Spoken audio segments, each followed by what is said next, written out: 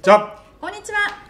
さあ今シーズンもね監督が、はい。あ辞任されるチームもあったりまだ、えー監督の去就がわからないチームもあるんですけれども、はい。ちょっとあのこの動画はいち早く将来の豊さんがなってほしい監督は誰なんだというのを12人選んでいただきたいなという動画です今日は。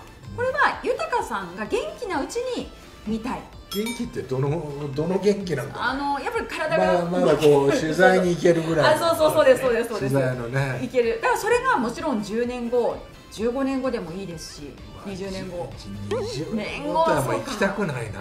辛いですね。辛い。グランドオリンドまあは、辛いかどうかわからないけども、まあ10年15年ぐらいはまだ大丈夫かな。のでその10年15年の間な、ではいはい。見たい12チームのそれぞれの監督というのを挙げていただきました、はいどっからまずセ・リーグからあセリーグ。いきましょう、はい。まずセ・リーグ巨人からいきましょうか。巨人から。ねはいセ・リーグ巨人は豊さんが見たいのは？これはもうみんなが知ってると思うよ、はい。坂本。そうか。えこれ長野選手。長男はその前にやるかあワンクッション置くんですねそな、こに、うん。うん、置くかもわからないし、やっぱ坂本は見てみたいよね。それはしてはどういう魅力のあふれる監督になりそうなんですか？やっぱり人間味があるよね多多分。うんうんうんうん。分人間味あふれるよ。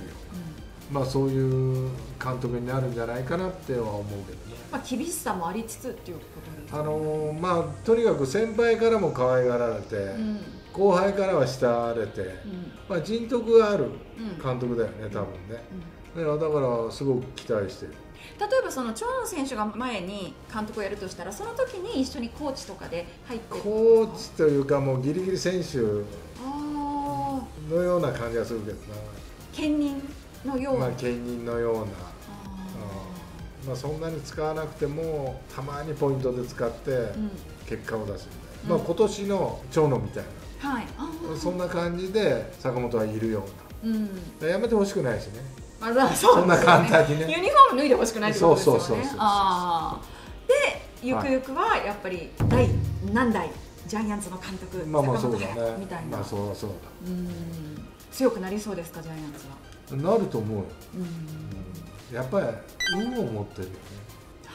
勝負師としての運が勝負強い力自体うん。がだからまあその監督としてチームの長となるわけだから、まあそれなりの勝負強さはうん。注入していくと思う、あとやっぱり監督になったらなったで見に来るファンもたくさんいるでしょうしグッズも売れるでしょうし、まあそうだな、うんまあ、その頃はまあ浅野がベテランというね。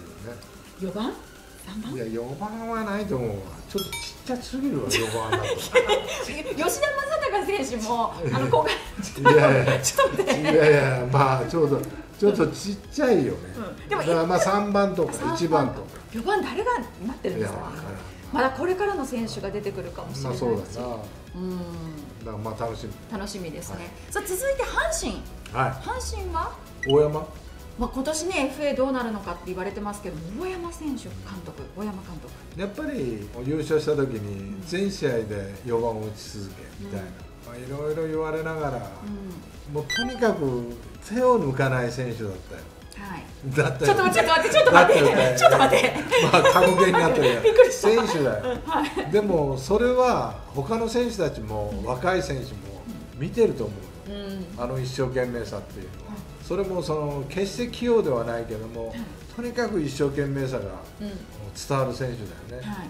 だからそういう選手っていうのはすごく大事だと思うしうん。今やってる新井監督に近いよへえうななんか監督像が思い浮かぶよその新井監督はもうちょっと陽気というかこういや別に陰気とは言ってないんですけど大山選誰手が陰気なの？大 山違う違う違う。大山？陰気じゃないじゃないですよね、なんかこう新井監督ってなんかああみたいな感じするんで大山監督もそんな感じになるんですうんいやなると思う、へー。それとやっぱみんなでやろうみたいな。うん。そんな感じにはなってくれると思うわあそうなんですね。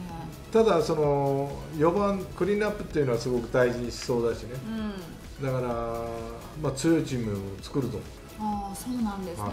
じゃあ、まあ、その前に例えば鳥谷えーさんだったり藤川球児さんだったりまあまあそうだね。そういう OB がやるかもわからないけども、まあ、大山の監督っていうのは見てみたいな。うん坂本も応援するけども大山も応援したいなっていうそうかそうか。梅ちゃん。梅ちゃん梅ちゃんどうだろうね、うん。バッテリーコーチ？手にこっちあなるほど。いやわかんないけど、うん。まあでも俺が見てみたい監督でしょ？だからうん大大山,、山監督ですね。さあベイスターズです。ベイスターズ。はい。牧。前もおっしゃってましたね牧選手。牧前は藤田ね。あ前藤田さんか。そう藤田政権がもう終わってんだよ。あもう第一次藤田大政権が。終わってる。で第二次。まあ第二次っていうか牧監督。まあ牧。牧ってやっぱりキャプテンシーあるし、ん。やっぱこう勝ちたいと思ってるんだよね、今はこうずっと負けてるけどもそういうものを勉強としてねうん。負けも勉強勝ちも勉強全て勉強、まあ、そうやっていい監督になってほしい采配だったりとかう、どんな DNA 色っていうのが出てくるんですか？牧監督色っていうのは、うん、やっぱりね牧もセカンドやりながら苦しんでるんだよ。ね、だからやっぱ守りっていうのはものすごい大切だっていうのは分かってると思うしそういうところを結構しっかり作り上げていく、まあ、そんな監督になるとは思うんだけうどね、ん。ということはじゃあ牧監督ですね、はい。さあカープです。カープ。うん。相沢、あーキャッチャーはい。なんかはそれ分かる気します。まあ相沢ってやっぱこう野球脳というか、うまあ、それとやっぱこう厳しさを持ってるような気がするんだよね、うん。今年太っちゃってるけでもちょっとね ちょっとでもうん。厳しさを持ってると思うんだよ、うん。ただこれには一つ条件があって、はい。マイケンがはい。最後広島で終わったとしたらあ。マイケンも見てみたいああそうですね。うん。うん。いややっぱマイケン負けず嫌いだしさ、うん。勝つ手段選ばないというか、うん。勝負は絶対勝たなきゃいけないんだっていう根性を持ってる人だよね。はい。だからやっぱマイケンも見てみたいな、前田監督、うん。うん。黒田さんはどうですか？だから黒田もいいんだけど、うん。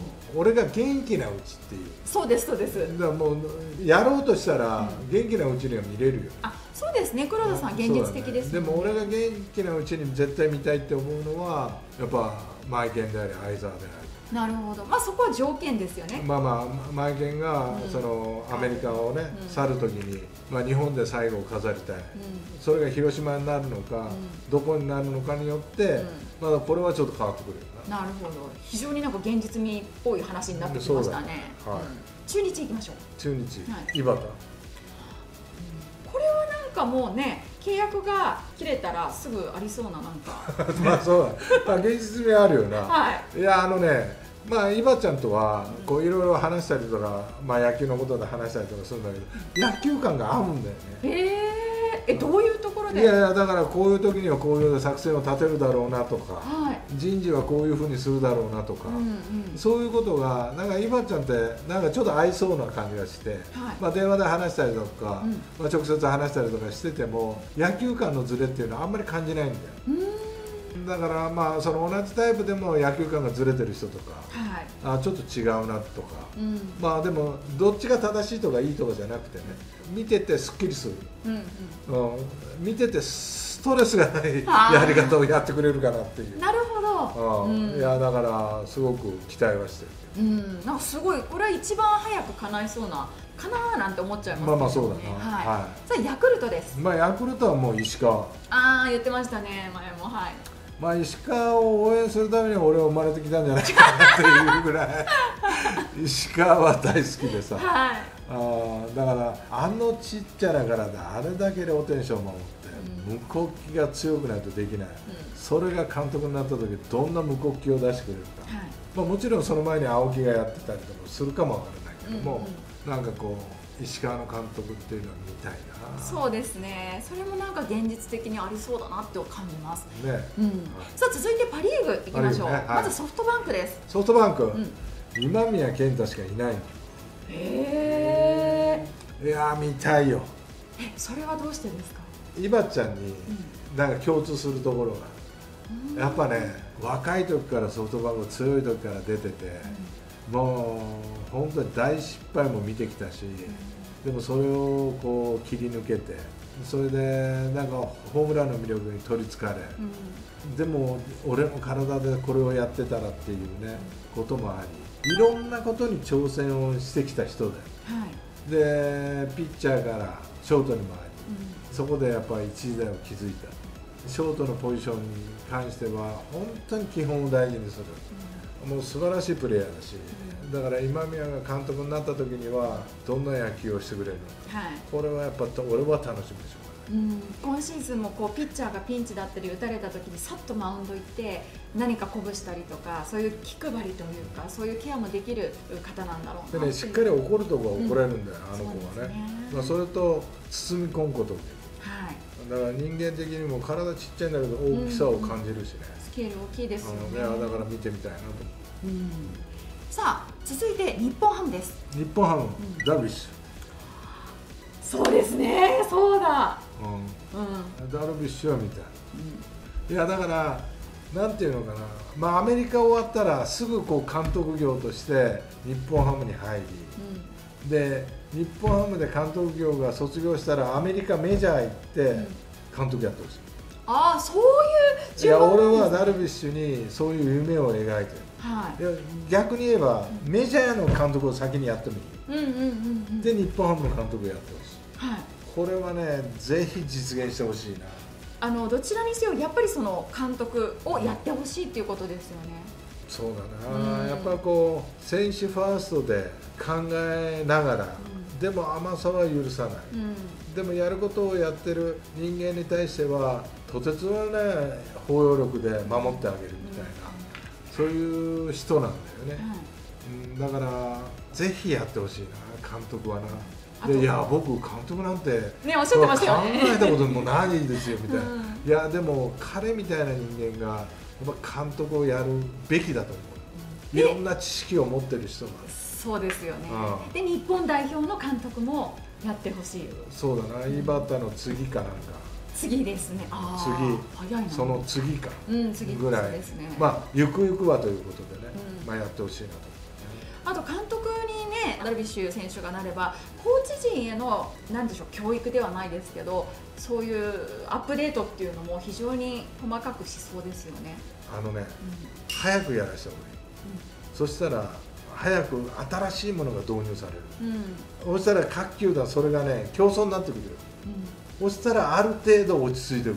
はい。今ね技術的なところで教える教えないとか数値化をしてる、ん。その数値が全員知ってるか知らないかとか、うん。いろんな問題が今発生してて、はい。今ねちょっとその内部では停滞気味なんだよねどこも。へでもダルビッシュが入ることによって全員が共有していくよいわゆるそういうもの。それをできない人は入れないから多分。うん。それを入れといてみんなでその数値を持ち合って会議をして、この選手をより良い方向にっていうふうなことを多分彼はやってくれるとそう日本の野球が変わっていく。思うそうそうそう。そう、だから早く変えないと、はい。これまたメジャーに置いていかれるそうですね。という、うんうんだから WBC で勝ったはい負けた勝ちました。偉そうにしてる場合じゃない、うん。いや本当に。そういうことを誰がやってくれるからはい。だから絶対入れたい。ああそこはもうそうですね。うん。元気なうちに豊さんが。まあそれとやっぱダルの監督ってかっこよくない？なんかいやもう様になりますよ。かっこいいと思うよそれだけで俺はね。うんそれだけで確かに、はい。ロッテです。ロッテははい。ちょっと渋いよ。はい。角中。こあいいじゃないですか。れはね苦労人だけど、うもうねこの執念はね青木と角中って、うんこの1打席1球にかける執念がやっぱ見てて違う。